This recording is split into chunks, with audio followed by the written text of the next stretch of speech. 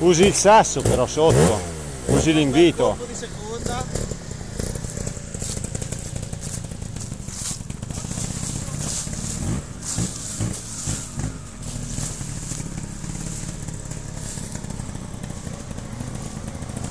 Io vado su.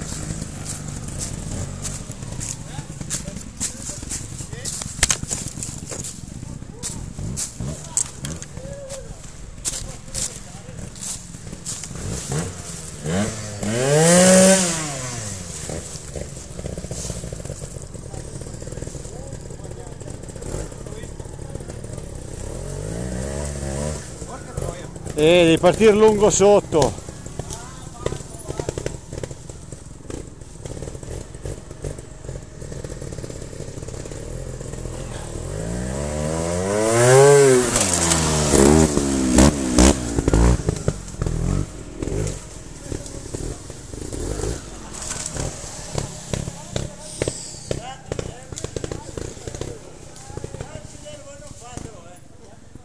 Trattenetevi